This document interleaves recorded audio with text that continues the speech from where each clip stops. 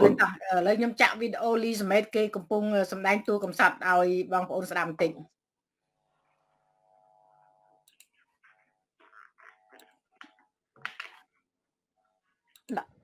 លីសមេតហៅលោកគ្រូមៀថ្ងៃនេះខ្ញុំសូមបញ្ជាក់ការពិតចេញពីបេះដូងខ្ញុំបានរឿងរ៉ាវដែលសម្ដេចលោកបានបង្ហោះក្នុងសំណេរភេកផ្លូវការរបស់លោក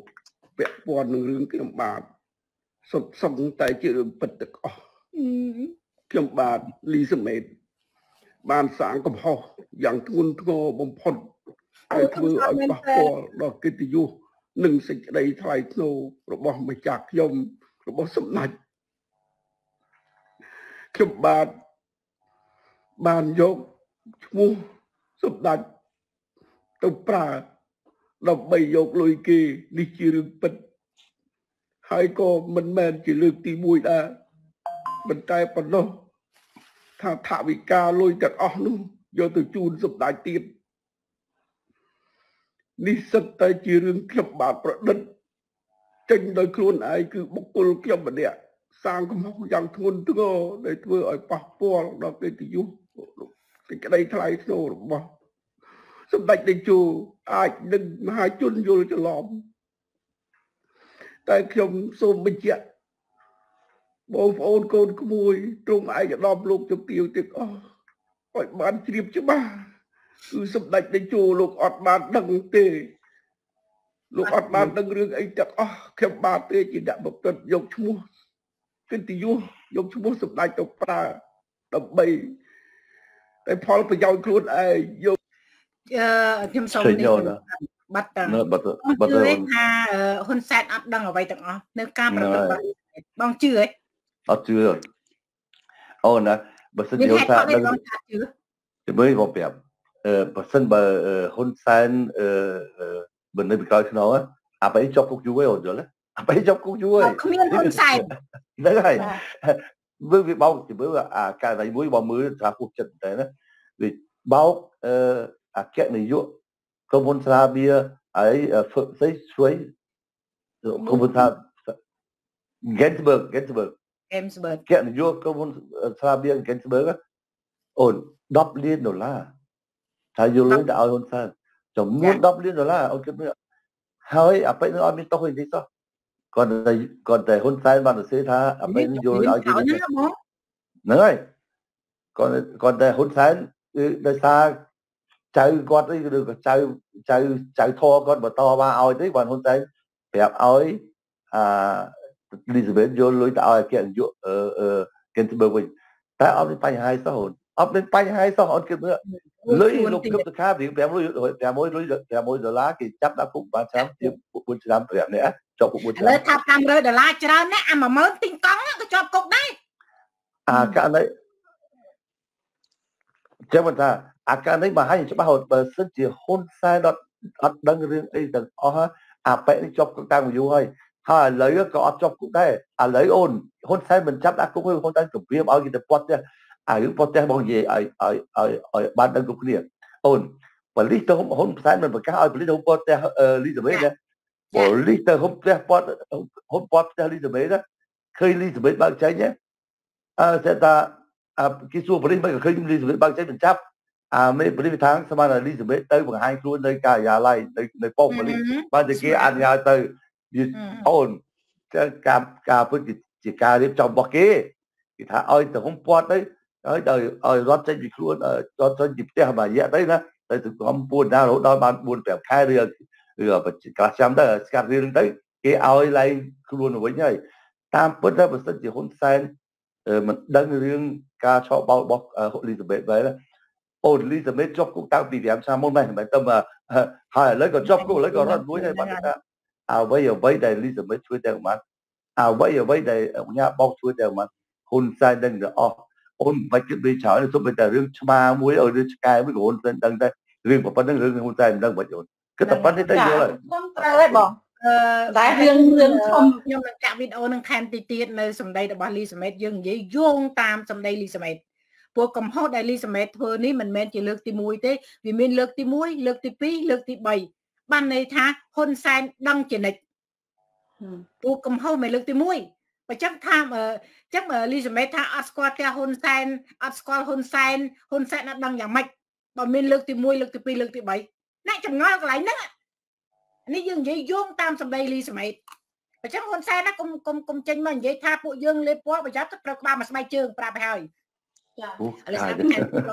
ចេះកាត់ហ៊ុនហ៊ុនសែនត្រូវត្រៀមខ្លួនទៅហើយខែ12ខែ12ហ្នឹងត្រូវត្រូវគេតឡាការអន្តរជាតិត្រូវអីតឡាការនៅស្រុកប្រាំងត្រូវហៅក៏ហៅមកឡើងមកអញ្ចឹងត្រូវចាប់ពីវិញ្ញាណត្រូវចាប់អឺស្អីគេឈ្មោះស្អីគេមួយទៀតដែលគម្រាមចំណាំតាគម្រាមគម្រាមប្អូនប្រុសសង្ហានៅកូរ៉េណាបងមួយពិសិដ្ឋលីអី ស្អីគេពីទូនោះហើយហ៊ុយពិសិដ្ឋគេមេតបព្រមហ្នឹងហ្នឹងហើយហ៊ុយហ៊ុយពិសិដ្ឋហ្នឹងចាអញ្ចឹងត្រូវត្រៀមត្រៀមខ្លួនទៅហើយអញ្ចឹងទៅពេលគេចាប់ពីអ្នកហ្នឹងហើយបើសិនជាអត់មកបង្ហាញខ្លួនគឺគេត្រូវត្រៀមគេត្រូវចាប់ទៅដល់លោកហ៊ុនសែនហើយបើបងហ៊ីលយូក៏ថាបាត់អ្នកជូតទឹកភ្នែកធម្មតាលីសមេតកុំថាឡើយទឹកភ្នែកដែលស្រក់មកមានអ្នកជូតសំបីតបែកញើក៏មានអ្នកជូតដែរលើបាត់ទៅណាអស់ហើយអាអ្នកជូតទឹកភ្នែកហ្នឹង អាអ្នកចាំជូតទឹកភ្នែកបាត់ទៅណាណាបងក៏សួរពីមុនស្ដីក្លាហានទៅអូដាប់អាដាប់ស្អីចោតអញអញប្តឹងនេះណាយើឥឡូវហ្នឹងខ្ញុំទៅមិនឃើញគម្រាមបងប្អូនប្រជាពលរដ្ឋខ្មែរយើងពួកបងប្អូនដែលគាត់នៅកូរ៉េនៅជប៉ុននោះណាទៅឃើញលីសមេតហ្នឹងនិយាយគម្រាមឲ្យថាថ្ងៃក្រោយចង់និយាយអីថាឲ្យពូដាក់កំហុសមកពូត្រូវស៊ើបឲ្យដឹងច្បាស់លាស់ប្រយ័ត្នពូប្តឹងចាប់ដាក់គុកអស់ឥឡូវឥឡូវរត់អ្នកជិះភ្នាក់បាន ឥឡូវហ៊ុនសែនថាអត់ដឹងលីសមេតនៅណាឥឡូវលីសមេតបានចេញមកស្រាយថាឥឡូវកំពុងនៅផ្ទះប្អូនណាកំពុងនៅផ្ទះប្អូនតោះចាក់វីដេអូលីសមេតស្ដាប់តិចទៀតណែនេះលេងខូចមកឯងលេងបោកគេបោកឯងហ្នឹងមកនិយាយយកត្រឹមត្រូវខ្លួនឯងមកធ្វើអត់ដឹងអត់លឺមិនជួយគេនេះជារឿងពិត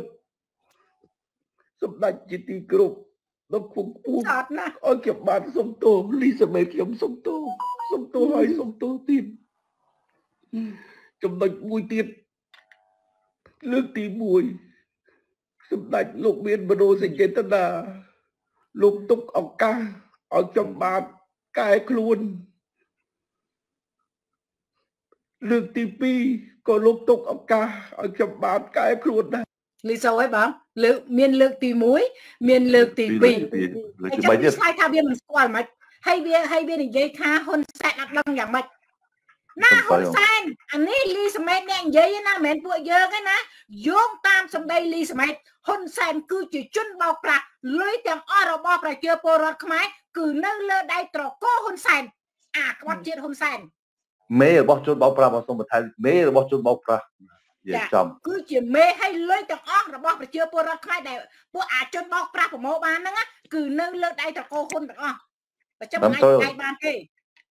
មានរឿងអីត្រូវអត់ស្គាល់បងតាមពិតលីសមេតត្រូវគេចាប់ដាក់គុកហើយប៉ុន្តែហ៊ុនសែននឹងវាចេញមកស្រែកប្រកាសគេទៅដើម្បីឲ្យលីសមេតហ្នឹងវារត់ចេញទៅណារត់ចេញទៅធំទៅកុំឲ្យពិបាកគេចាប់ចាអានេះសិតតែល្បិចរបស់ពួកវាទេឥឡូវអ្នកជូតទឹកភ្នែកណាមានបងប្អូនយើងសួររកអ្នកជូតទឹកភ្នែកបាត់ទៅណាអស់ហើយអ្នកជូតទឹកភ្នែករត់ដងមានអ្នកជូតញើសមានអ្នកអីអូមានអ្នកបាសសាអីមិនធម្មតាឯណា ហ្នឹងហើយតាស្ដាប់នេះថែមតិចទៀតរហូតដល់លើកទី3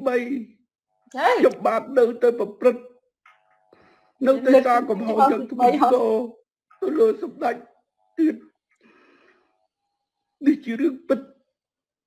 ខ្ញុំបាទយកគុណទៅសងទោសដែលសម្ដេចលោកមានគុណលើខ្ញុំបាទនិងក្រុមគ្រួសារខ្ញុំបាទខ្ញុំបាទក៏ មានកំហុសធ្ងន់ធ្ងរណាស់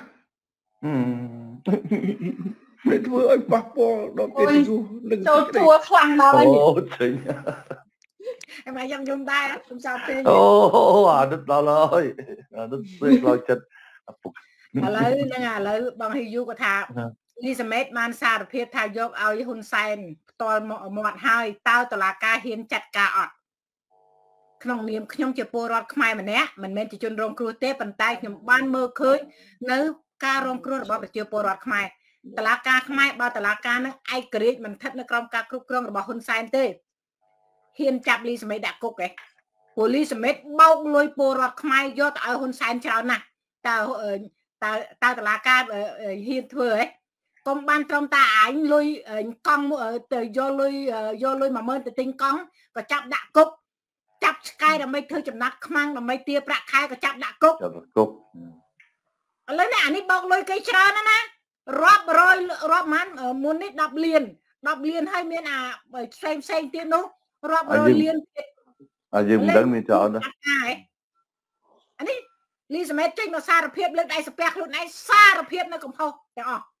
មានភ័ស្តុតាងគ្រប់គ្រាន់អានេះភ័ស្តុតាងជាក់ស្ដែង អាចចាប់តែមើលសារភាពប៉ុណ្ណឹងហើយគួរតែចាប់ដាក់គុកទៅមើលមើលចាប់អត់តាមពិតហ៊ុនសែនមិនចាប់ទេដោយសារអីបានលីសមេតនឹងដើរចេញរត់ចេញមកហ៊ុនសែនប្រកាសហើយហើយប្រកាសរឿងលីសមេតហ្នឹងឲ្យលីសមេតហ្នឹងរត់ចេញទៅឲ្យឆ្ងាយទៅគេខ្ជិលនឹងគេខ្ជិលនឹងចាប់នៅអូសុំបងសុំកាត់អូនអូនចង់បានផផតាមជាក់ស្ដែងអូនហ៊ុនសែនអ្នកសរសេរខ្លួនឯងនៅលើ page របស់គាត់ណាចាលីសមេតទៅបោកលុយ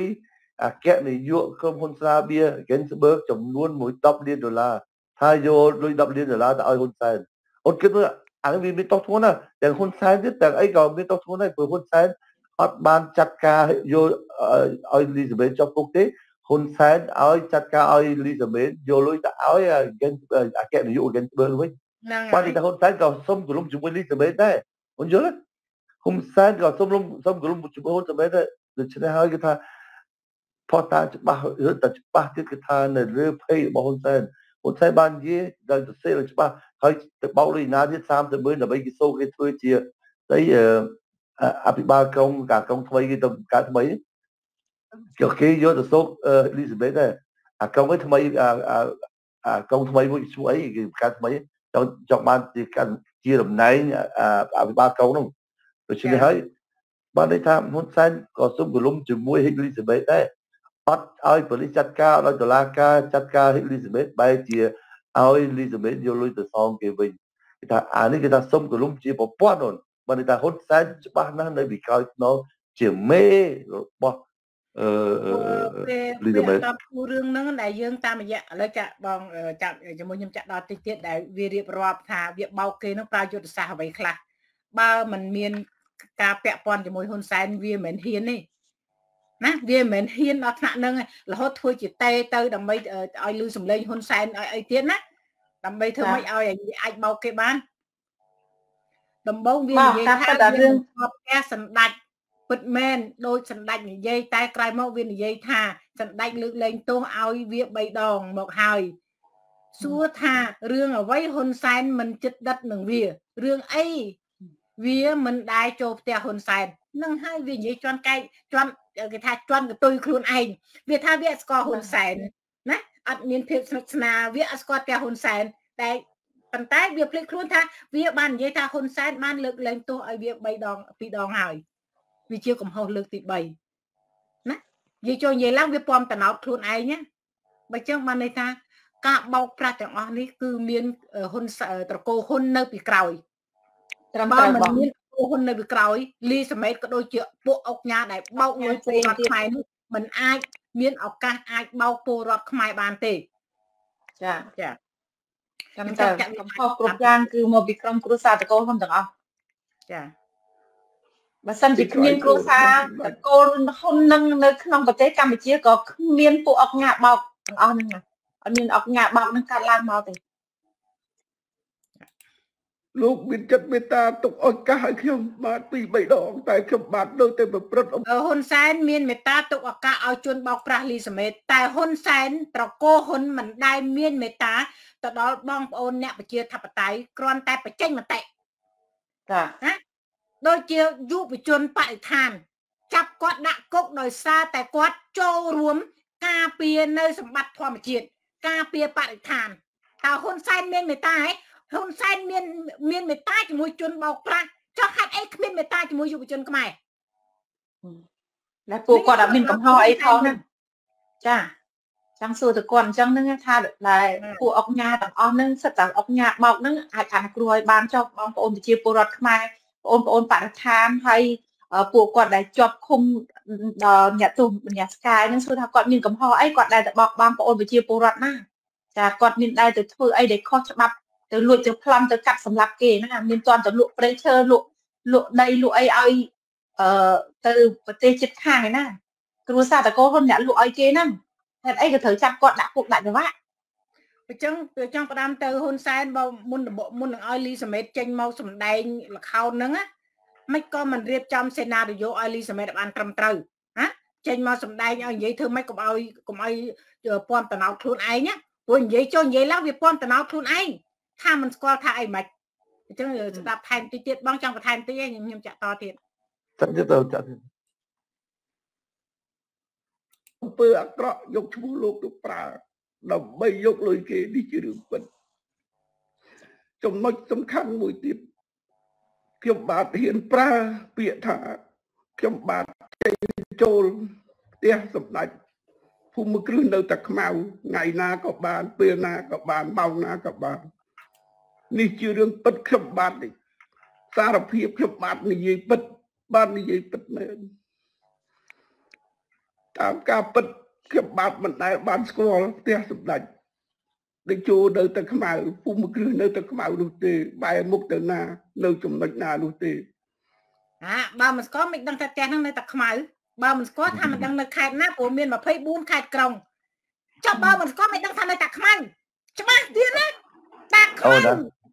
អូននេះយូរយូរជាប់កន្ទុយខ្លួនឯងបើហើយតែ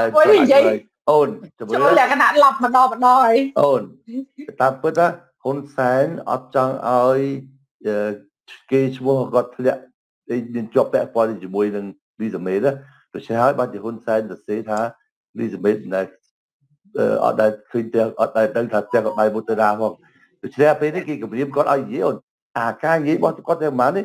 អូនគេឲ្យគាត់និយាយទាំងអស់អូនយល់ទេគេឲ្យគាត់និយាយទាំងអស់គេបញ្ជាគាត់និយាយដល់ដើម្បីកុំឲ្យមហាជនជាពិសេសអ្នកគ្រប់គ្រងប្រជាជននឹងគេមើលទៅឃើញថាយីហ៊ុនសែនមិនក៏មានតំណែងចិត្តស្និទ្ធជាមួយអាមេបោកហ្នឹងតាមពិតហើយគឺជាការលាក់បាំងរបស់ហ៊ុនសែនទេហ៊ុនសែនចង់លាក់បាំងអារឿងហ្នឹងកុំឲ្យគេជាជនមើលទៅថាគាត់ជាមនុស្សចិត្តនឹងលីតំេហ្នឹងហ្នឹងអានេះក៏ជាការបោកប្រាស់មួយដែរអូនអូននិយាយអញ្ចឹងគាត់តែគេ ចារឿងរឿងសំដែងណាបងរាល់ថ្ងៃរឿងសម្ដែងវាមានច្រើនហើយនៅក្នុងស្រុកខ្មែរប៉ុន្តែបាទតាលីសមេតហ្នឹងគាត់ចេញមកសម្ដែងហ្នឹងប្រជាពលរដ្ឋខ្មែរគាត់ដឹងហើយគាត់មិនទៅជឿទេគាត់តែចេញមកនិយាយប៉ុណ្ណឹងហ្នឹងគេគេមិនមែនអាណិតអាសូរទេគេចង់ជន់អាចធាក់មាត់ទៀតនិយាយចេញមកឡប់ឡប់និយាយចេញមកដូចមនុស្សវិញខួយហ្នឹងវិលត្រឡប់ទៅត្រឡប់មកជន់អាចខ្លួនឯងហ្នឹងអឺ បងប្អូនយើងក៏ថានេះហើយខ្មែរក្រោមហៅថាយំយួនអូអានេះថាយំយួនណាអូមែនមើលតែរូបភាពណាអាភាពយំបោកប្រាស់យំអត់ចេញទឹកភ្នែកយំទាំងបង្ខំខំធ្វើមុខពេកយំណាកំសត់ពេកហើយអូនអូនអូនអូនយំយួនហ្នឹងបងនឹកឃើញដល់រឿងមួយតែបងចង់និយាយជាសាធារណៈពេលដល់បងនិយាយតែបងជួបនេះបងនិយាយពីអូនហើយតែយំយួនមែនយំយួនយំយួនមែន អូខេចឹងខ្ញុំចាក់ចាក់ទៅស្ដាប់តិចទៀតបន្តទៀតបងនៅចាក់តែខ្ញុំបាទប្រឌិតរឿងនេះឡើង ដើម្បីឲ្យគេទុកចិត្តខ្ញុំបាទថាបានចេញចូលពីព្រោះខ្ញុំបាទចង់បានលុយគេទើបខ្ញុំប្រឌិតរឿងនេះឡើងនេះជាកំហុសយ៉ាងធ្ងន់ធ្ងរបំផុតដែលធ្វើឲ្យប៉ះពាល់ដល់កិត្តិយសនិងសេចក្តីថ្លៃថ្នូររបស់ម្ចាស់ខ្ញុំបាទ តែខ្ញុំបាទមិនព្រមកែខ្លួនសោះជប់ជប់ជប់ជប់អូនជប់រឿងនេះឡើងជប់អូនជប់ភ្លេចគាត់និយាយមិញណាម្ចាស់ខ្ញុំម្ចាស់ខ្ញុំបើតែហ៊ុនសែនជាម្ចាស់របស់អូលីសាមេណាកំហុសយ៉ាងធ្ងន់ធ្ងរបំផុតម្ចាស់ខ្ញុំបាទដែលធ្វើឲ្យប៉ះពាល់ដល់ម្ចាស់ខ្ញុំបាទនិយាយចំចំហ្មងគាត់សារជាចំចំគាត់ជាឆ្កែអូនលីសាមេណាមិនទៅបោកឲ្យរឿងការនៃ3កណៃ3 3ករណីនេះទេអូន អូនដែលឃើញគេថតរូបផ្ទះរូបភាពផ្ទះលីសាមេទេអូនមកហើយស្គមស្គីណាស់អូនអើយស្គមស្គីណាស់ខ្ញុំថាអាបោកប្រើមិនទៅកើតឡើងទៅចេញពី3ករណីវាមានរាប់ឆ្នាំមកហើយយល់ទេគឺថាបោកបាន100ទៅឲ្យហ៊ុនសែន50 70ដុល្លារអញ្ចឹងណាហើយអញ្ចឹងហ៊ុនសែនជាឲ្យធ្វើតទៀតទេកំតែអាករណីចុងក្រោយអាករណីទៅបោកអាអីអគ្គនាយកអឺកម្ពុជាថាវា Gensburg ហ្នឹង 10លានដុល្លារបែរយកទុកខ្លួនឯងបងយល់ទេ10លានដុល្លារបែរទុកខ្លួនឯងបាទជាហ៊ុនសែនអឺ call ប្រាប់ឲ្យគាត់យល់ឲ្យទៅវិញចាអូខេមានគាត់ថាវាមិនដែរទីប្រឹក្សាទាំងមូលមិនស្គាល់ផ្ទះចវាយកុហកលើគោកចាជាការពិតគឺថាវាកុហកយូរយូរម្ចាស់វាឲ្យវាចេញមុខសារភាពជាសាធារណៈដើម្បីកុំឲ្យជាមួយម្ចាស់វាជាការពិត គេជាឲ្យគាត់និយាយអ្វីដែលគាត់និយាយទៅមកគេជាឲ្យគាត់និយាយទៅអស់គេសរសេរឲ្យគាត់និយាយទៅអស់ហើយដោយអូនបាននិយាយចឹងអូនអូនគាត់និយាយខ្លួនឯងថាម្ចាស់ខ្ញុំគាត់ហៅហ៊ុនសែនជាម្ចាស់ខ្ញុំគាត់បានថាគាត់ជាឆ្កែរបស់ហ៊ុនសែននិយាយចំគាត់សរសារភាពគាត់ជាឆ្កែរបស់ហ៊ុនសែនហើយឆ្កែរបស់ហ៊ុនសែនមិនស្គាល់ម្ចាស់ទេមិនស្គាល់ទេមិនហ៎អូខេឆ្កែរបស់ម្ចាស់ទេមិនស្គាល់ទេទេរបស់ម្ចាស់មិនហើយគេថាកុហកសុទ្ធសាធបាទចា ឥឡូវមើលខ្ញុំចាក់សារឡើងវិញកន្លែងនឹងតិចឲ្យសម៉ៃស្ដាប់នៅតែខ្មៅនោះទេបាទនៅនៅចំណុចណានោះទេ តែខ្ញុំបាទប្រឌិតរឿងនេះឡើងដើម្បីឲ្យគេទុកចិត្តខ្ញុំបាទថាបានចេញចូលពីព្រោះខ្ញុំបាទចង់បានលុយគេទើបខ្ញុំប្រឌិតរឿងនេះឡើងនេះជាកំហុសយ៉ាងធ្ងន់ធ្ងរបំផុត ដែលធ្វើឲ្យប៉ះពាល់ដល់កិត្តិយសនិងសេចក្តីថ្លៃថ្នូររបស់ម្ចាស់ខ្ញុំបាទទេម្ចាស់ខ្ញុំបាទខ្ញុំខ្ញុំខ្ញុំចង់ចាំចាំចាំសួរកន្លែងហ្នឹងតិចថ្លៃថ្នូររបស់ម្ចាស់ខ្ញុំបាទម្ចាស់ខ្ញុំបាទច្បាស់ហ្នឹងម្ចាស់ខ្ញុំបាទហើយចោះអឺតាឯងមានទួនាទីនៅក្នុងជួររដ្ឋថាវិបាលនឹងមានទួនាទីធំដែរទៅហើយថាទីប្រឹក្សាក៏របស់សម្ដេចហ៊ុនសែនហ្នឹងហេតុអីក៏ តែត្រឹមតែចង់បានលុយគេទៅដល់ឆោបោកគេអញ្ចឹងវិញយើងក៏មិនបង្កើតមុខរបរអ្វីមួយមុខជំនាញអ្វីមួយដែលអាចជួយដល់ប្រជាពលរដ្ឋទៅអានឹងលុយចូលដូចនេះបងសំកាត់ទេអូនបងសំកាត់ទេយើងកុំនិយាយអូនដូចជាបាននិយាយចឹងគេឲ្យគេបញ្ជាឲ្យពួកអង្គញាពួកអាស៊ីប្រសាទៅបោកបាជនយល់ឲ្យគេអូនយល់ទេនិយាយច្បាស់ចឹងខ្ញុំដឹងខ្ញុំដឹងអាចចំណុចដែលត្រូវបោកនឹងព្រោះព្រោះអីគាត់គិតថាអញ្ចឹងអឺ រកទីផ្សាររកអីដាក់ទៅវាលុយវាចូលយឺតដែរអញ្ចឹងទៅក៏បជាឲ្យដើរបោកគេអញ្ចឹងទៅបើលុយវាបានលឿនអាលុយបោកពីបជាពលរដ្ឋមកហ្នឹងវាលឿនណាងាកងាកចូលងាកចូលចាវាបោកបានធូរចារស៊ីបោកគេអត់បានលឿនចា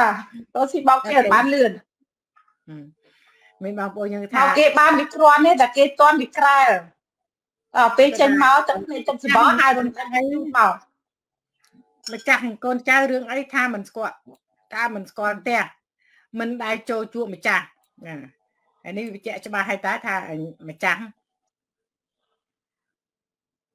ហើយឆ្កែមិនស្គាល់ផ្ទះរបស់ម្ចាស់មិនអូនគិតមើល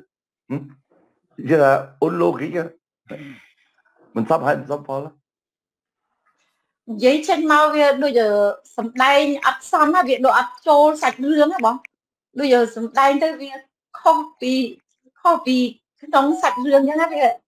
ដូចអត់សូវសមសោះឲ្យគាត់ទៅរៀនសំដែងម្ដងទៀតរៀននិយាយម្ដងទៀត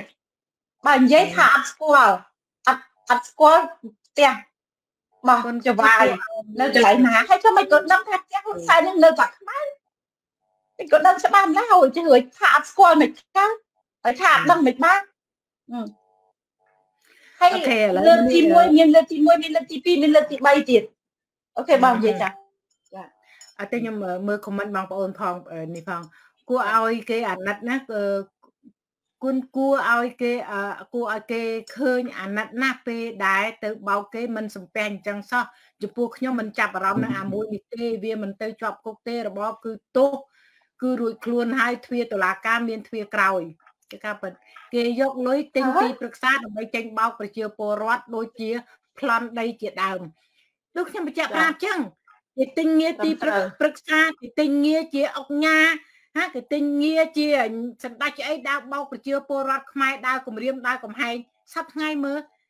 បងប្អូនពលរដ្ឋខ្មែរនៅតាមជនបទអ្នកដែលធ្វើបាបគាត់ផ្លាំយកដីឃ្លីគាត់មិនអ្នកពលរដ្ឋខ្មែរគ្នាសាមញ្ញធម្មតាទេសត្វតែប្រើងារអុកញ៉ាងារសម្ដេចមន្ត្រីជាន់ខ្ពស់ឬក៏ក្រុមហ៊ុនអីចឹងទៅ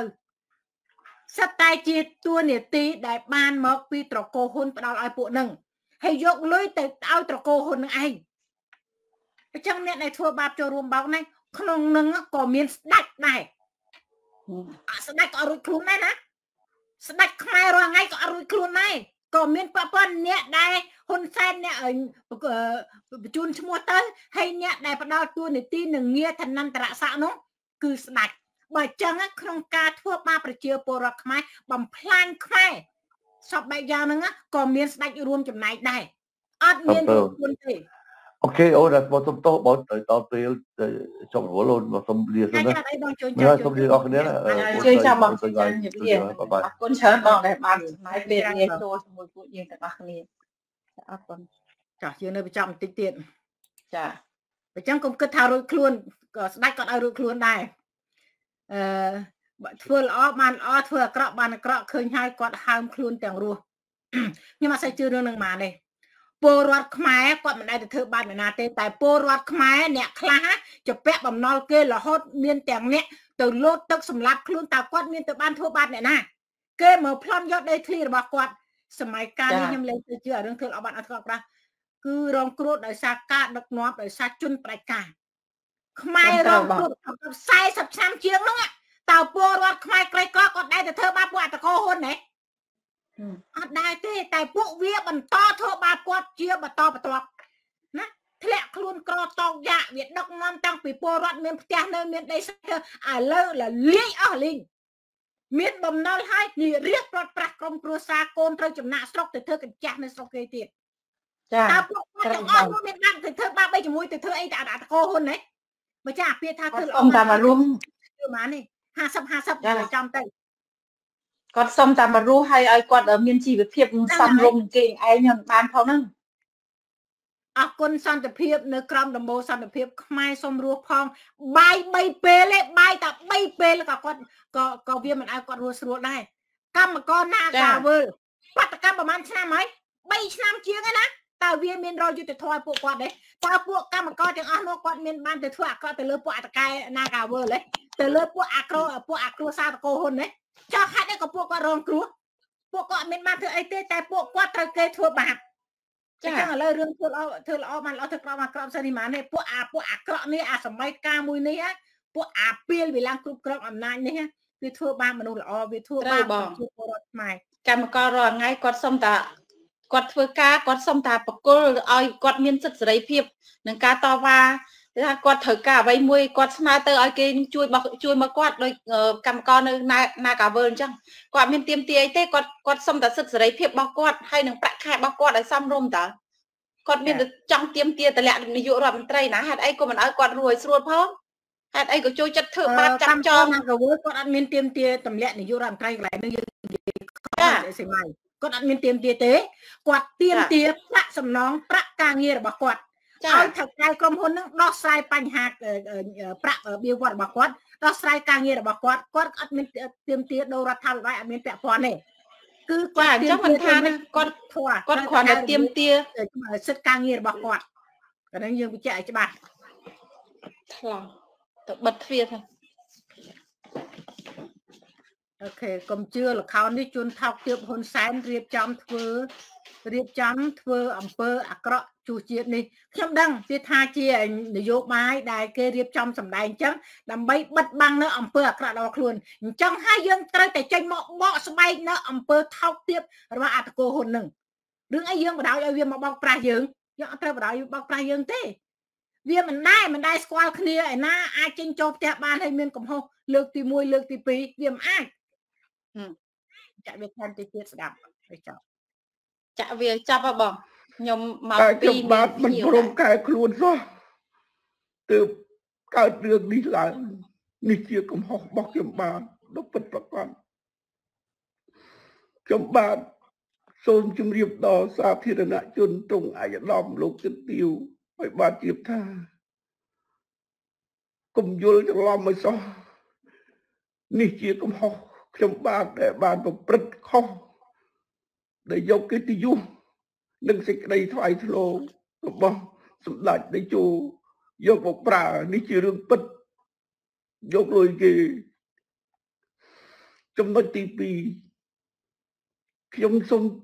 ជម្រាបសពថ្ងៃនេះខ្ញុំកំពុងតែមានជំងឺហើយនៅផ្ទះកូនឥឡូវប្រាប់ឯណាហ៊ុនសែនតឡាការ ទីតាំងប្រាប់នៅផ្ទះកូនផ្ទះកូនរបស់លីសមេតលីសមេតបោកប្រាស់លីសមេតមានទោសបោកប្រាស់ប្រជាពលរដ្ឋខ្មែរចាត់វិធានការតឡាការអាចធ្វើបានទេលីសាមេតអាលីសាមេតកូនអុករបស់ហ៊ុនសែនតែពេលនេះនយោបាយផ្លាស់ប្ដូរអន្តរជាតិដាក់ទណ្ឌកម្មដូច្នេះលីសាមេតត្រូវម្ចាស់ធ្វើស៊ីដូចលេងចនាជាដើមនៅមានអាលេងណាបត្រាទៀតគេធ្វើស៊ីម្ដងមួយម្ដងមួយ ដូចដួងតារាអីសាត្រូវវាធ្វើស៊ីបន្តបន្តไปព្រោះឥឡូវដើរខ្ចីលុយគេលេងបាននេះពីមុនបានឯងទទួលបាន EBA GHP ណាការជួយឧបត្ថម្ភឲ្យប្រទេសដូចប្រទេស Norway អីប្រទេសប្រទេសគេដែលគេដកទូតគេចាញ់បន្តបន្តទីរន្តកម្មនឹងដាក់ទៅជាបន្តបន្តដោយសារតែការសម្លាប់នៅលទ្ធិប្រជាធិបតេយ្យនៅក្នុងស្រុកខ្មែរធ្វើទុកបុកម្នេញទៅដល់អ្នកប្រឆាំងចាគេទៀមទាឲ្យយើងស្ដារឡើងវិញនៅលទ្ធិប្រជាធិបតេយ្យ លុបបំបត្តិចោលនឹងការរំលោភសិទ្ធិមនុស្សដោះលែងអ្នកទោសមនសិការធ្វើឲ្យណាធ្វើឲ្យការបោះឆ្នោតដោយសេរីឲ្យឲ្យអ្នកនយោបាយនឹងអាចបោះឆ្នោតបានដោយមិនមានការគម្រាមកំហែងណាអ្នកអ្នកនយោបាយហេតុអីធ្វើមិនបានអន្តរជាតិគេអត់មានត្រូវការពីរបបក្រុងភ្នំពេញទេគេត្រូវការពីហ៊ុនសែននេះហេតុអីហ៊ុនសែនធ្វើមិនបានដោយសារហ៊ុនសែនគឺជាជនម៉ាហ្យាចាគឺជាអក្រិតជន គឺជាជនផ្ដាច់ការដែលឃ្លានអំណាច អញ្ចឹងហើយបានវាមិនអាចធ្វើតាមបាននឹងទោះបីលីសមេតឯងខំសំដែងធ្វើយំក៏ក្លែកក៏ខ្លាក់មិនដល់ក៏ការពៀនការពៀជួយលៀងគូតនៅអង្គើអាក្រក់របស់អាត្រកោហ៊ុនមិនបានដែរចង់ប្រាប់ត្រឡប់ទៅវិញអញ្ចឹងយ៉ាចិត្តចាប់ឲ្យសម័យហ្នឹងចាំបងចាប់បង្ហាយចាប់តិចណាដើម្បីយើងបញ្ចប់ពូចិត្ត1ម៉ោងកន្លះហើយចាបងចាហ្នឹងហើយឆាប់បញ្ចប់តិចមកមីផាយជាគាត់ឃ្លៀនទំនោរផ្អែម មានជំងឺកាពះពោះវៀនសំខាន់គឺទឹកនោមប្រៃកំពុងតែហើមមិនថាទឹកនោមសាបទឹកនោមប្រៃទឹកនោមផ្អែមមានពលរដ្ឋខ្មែរមានមានពលរដ្ឋខ្មែរមានអ្នកទោសមនសការជាពិសេសសកម្មជនគណៈបពប្រឆាំងដែលកំពុងឈឺនៅក្នុងគុកដូចជាលោកលោកថាច់សេថាដោយសារតែមនសការជាតិត្រូវកចាប់ដាក់គុកតើមានការយោគយល់ពីជនក្បត់ជាតិហ៊ុនសែនទេ ហើយលីសមេតឯងបោកគេច្រើនណាណាបើចឹងតឡាការណាតឡាការបើតឡាការឯងពិតជាមានយុត្តិធម៌មែនណាចាត់វិធានការទៅលើជនបោកប្រាស់មួយក្បាលនេះហើយនឹងអាជនបោកប្រាស់បន្តបន្តទៀតដូចជាលេងណាវ៉ាត្រាលេងចនា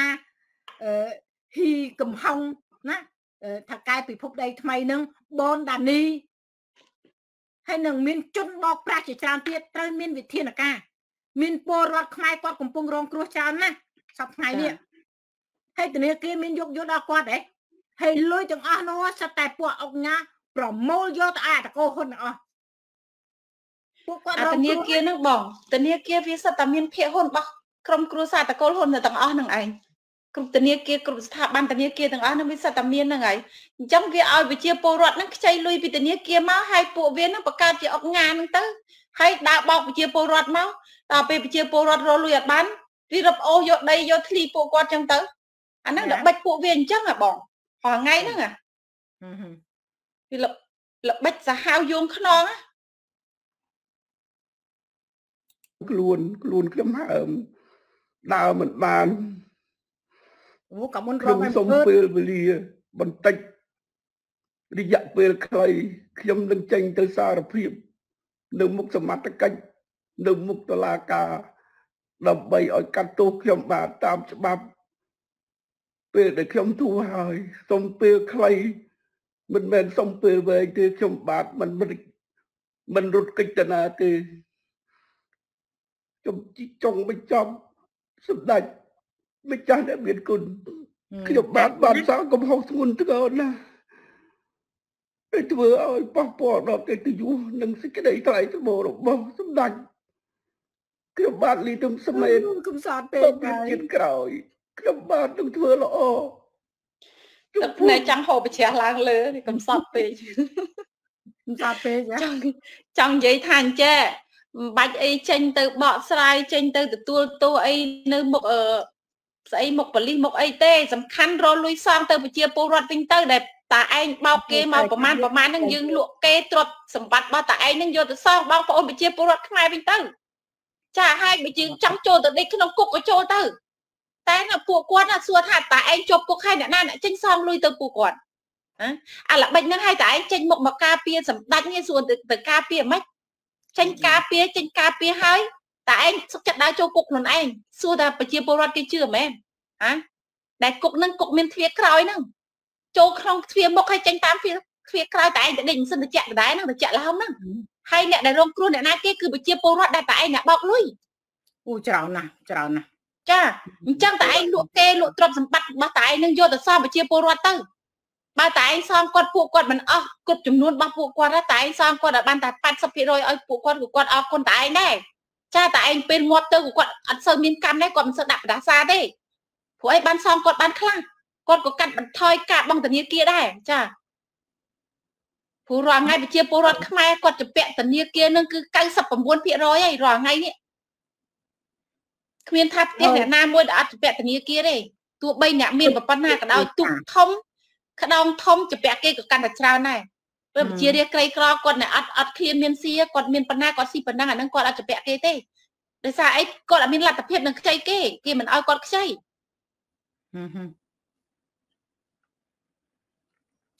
អូខេណាឥឡូវខ្ញុំមើលខមមិនបងប្អូនតិចព្រោះមិញសិមាគាត់បានបកស្រាយច្បាស់ហើយសងពលរដ្ឋណាត្រូវមានចំណាត់ការតឡាការត្រូវមានចំណាត់ការអូសណាគឺរឹបអូសយកទ្រព្យសម្បត្តិរបស់លីសាមេតនេះសងបងប្អូនប្រជាពលរដ្ឋខ្មែរហើយលីសាមេតត្រូវតែទទួលទោសមិនហើយមិនមែនទទួលទោសតាលីសាមេតទេមេលីសាមេតនឹងក៏ត្រូវទទួលទោសដែរព្រោះលីសាមេតបញ្ជាក់ច្បាស់ណាស់ម្ចាស់ខ្ញុំណា ចាហ៊ុនសែនអត់រួចខ្លួនទេព្រោះលីសាមេតបញ្ជាក់ណាស់ហ៊ុនសែនឯងគឺជាម្ចាស់របស់លីសាមេតប្រចាំលុយដែលលីសាមេតបោកទៅគឺនៅលើដៃហ៊ុនសែនឯងហ្នឹងហើយណាហើយតាមចឹងស្អីគេប្រធានព្រឹទ្ធសភាទាំងមូលនេះប្រធានព្រឹទ្ធសភាដែលត្រូវជាមេរបស់លីសមេតនេះត្រូវតែចេញមកមកដោះស្រាយរឿងឆ្កែមួយលោកដោះស្រាយឲ្យគាត់បានអញ្ចឹងប្រជាពលរដ្ឋដែលគាត់រងគ្រោះដោយសារតែលីសមេតបោកលុយហ្នឹង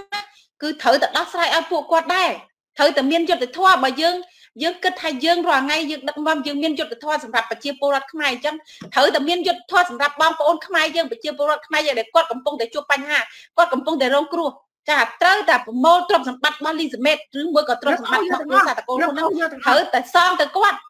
ចាយ៉ាអានឯងសងដូចខ្ញុំនិយាយចឹងមិនបានសងគាត់100%សងគាត់បានត្រឹម80%ក៏អ្នកឯងមិនត្រូវបដាសាពេលអ្នកឯងងាប់ទៅគាត់មិនដាក់បដាសាអ្នកឯងខ្លាំងដែរ ចាគាត់ក៏អរគុណដែរពេលហ្នឹងក៏អាចជួយសម្រាប់បន្ទុកគាត់បានខ្លះដែរគាត់ថាបងចំដាក៏សួរថាពេលណាដល់វៀនហ៊ុនសែនចេញមុខមកសុំទោសពលរដ្ឋខ្មែរបែបនេះផងបងប្អូនខ្មែរទន្ទឹងរង់ចាំខ្លាំងមែនទែនពេលណាបើសិនជាមេដឹកនាំមេដឹកនាំប្រទេសដទៃទៀតណាគង់គេអត់មានប្រើរយៈពេលដល់30 40ឆ្នាំ50ឆ្នាំយ៉ាងទេ គេមានកំហុសគេមើលតែខ្លួនគេអសមត្ថភាពដូចជាមេដឹកនាំជប៉ុនណាគេលឹកជង្គង់សុំទោសពលរដ្ឋគេគាត់គេមានកំហុសតែម្ដងគេលឹកជង្គង់សុំទោសពលរដ្ឋគេសុំលាលែងពីតំណែងភ្លាមគេអត់មាននៅក្រាញ់អំណាចនៅមុខក្រាស់ដោយហ៊ុនសែនទេ បងប្អូនពូមីងយាយតាវេទនាលើកដៃសុំការយោគយល់សុំរស់មានកន្លែងស្នាក់នៅនឹងគេត្រូវពួកវាឈូសឆាយដោយគ្មានក្តីមេត្តាបន្តិចឡើយរហូតបើក អេវ៉ាទ័រកិនទាំងរស់ទៀតផង មកដល់ពេលនេះជនរងគ្រោះមិនទាន់បានទទួលយុត្តិធម៌ផង មើលទៅមើលមើលមើលទៅផងជាបងប្អូននៅនៅបឹងតមុកដែលត្រូវគេអញនេះតាក់តអីហ្នឹងហ្នឹងហើយចាអូខេអរគុណទៅវាមិនដែលរកយុទ្ធធម៌ឲ្យបងប្អូនខ្មែរយើងទេរាល់ថ្ងៃនេះដោយគេនិយាយអញ្ចឹង2050 ប្រជាជនខ្មែរលែងលែងคล้ายជាប្រទេសអ្នកក្រហើយវាคล้ายជាប្រទេសអ្នកមានចុះវាទៅរកអ្នកក្រមកពីណាទៀតបើវាសម្រាប់អ្នកក្រចោលអស់ហើយហ្នឹងហើយវាដេញអ្នកក្រចេញពីក្រៅចេញរត់ចំណាក់ស្រុកទៅស្រុកគេស្រុកនេះស្រុកនោះអស់ហើយវាយកដីអ្នកក្រទៅលក់ឲ្យឈ្មួញឲ្យឲ្យប្រទេសជិតខាងចឹងទៅយកដីទៅលក់ឲ្យក្រុមហ៊ុនមួយមួយផ្សេងទៀតចឹងទៅហើយទៅរកអ្នកក្រមកពីណាទៀត ដូចនៅដូចនៅបឹងតមោកចឹងម៉ែឃើញដេញបឹងតមោកយុទ្ធសាស្ត្របំបត្តិអ្នកក្រសិម៉ែយុទ្ធសាស្ត្របំបត្តិអ្នកក្រចាហើយបើឯងឃើញអ្នកខ្លះបងប្អូនខ្មែរខ្ញុំមីងមីងខ្លះ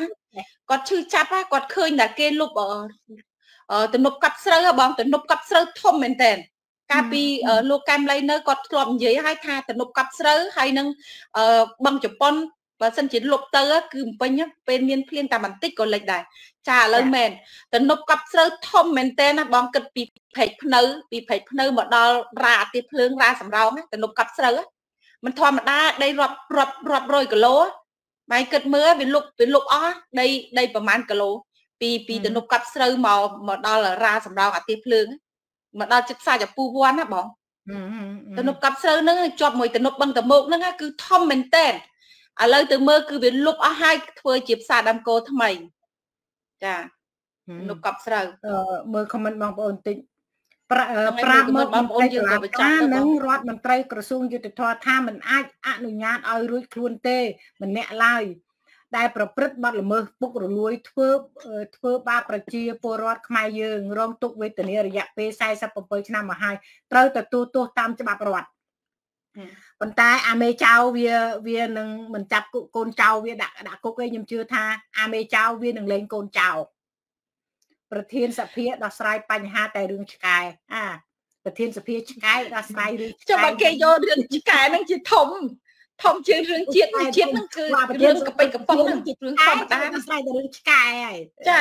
ហ្នឹងហើយអូខេបងប្អូនយើងតែទៅចាប់កូនចៅវាដាក់គុកអីបង